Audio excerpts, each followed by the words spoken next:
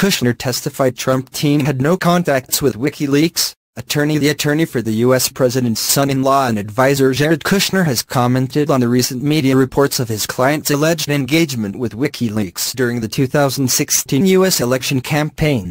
Moscow, Sputnik. Jared Kushner said in his July testimony to the U.S. Congress in the probe into alleged Trump's campaign team collusion with Russia, that he did not have any contacts with WikiLeaks whistleblowing website and he did not know about such contacts by other team members, according to his attorney Abbe Lowell. Mr. Kushner was asked if he had contacts with WikiLeaks, Guccifer or DC Leaks and said no.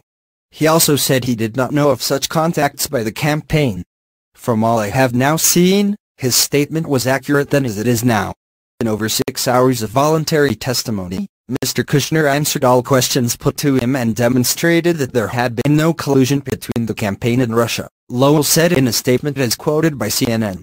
The attorney's statement comes amid a revelation concerning the U.S. President's son Donald Trump Jr. was engaged in secret correspondence with WikiLeaks during the height of the U.S. presidential election campaign in autumn 2016.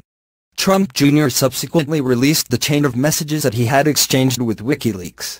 Following the report, U.S. lawmakers from the Senate Judiciary Committee wrote a letter to Lowell asking him to submit some documents required for the investigation, including an email about WikiLeaks, which Kushner had forwarded to another campaign official.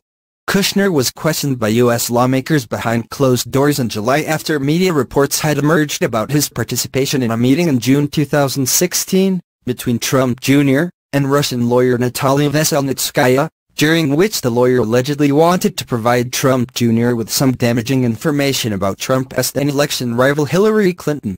The claim was subsequently denied by Veselnitskaya, who also said she had no links to the Kremlin.